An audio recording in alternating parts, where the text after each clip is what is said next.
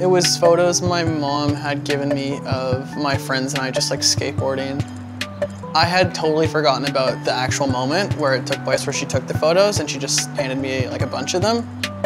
It was the first time I was like, oh cool, like documenting something. And I think soon after that I bought a camera. I just started documenting my friends like skating and I think that's like when I really got interested in it.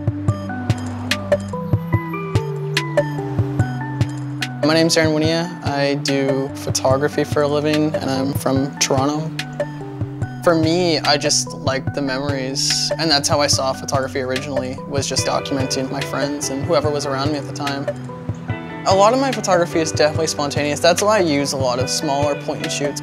I kind of just have like a bag that I just like throw like a little point and shoot in or something. Because it's small, like people don't really see it. Because when you break out a camera in front of people, sometimes people start to stiff up and get weird. And I kind of just like to break it out when I'm gonna take the shot. So I grew up skateboarding, right? And like skaters have eyes for skate spots and we tend to see a lot of stuff that other people don't see. Like a set of stairs or a handrail or something. I feel like the same relates to like photography where I feel like I'm constantly like looking for things. And I feel like a lot of people don't really see that and maybe they do and they just don't really care, but I like love shooting that stuff.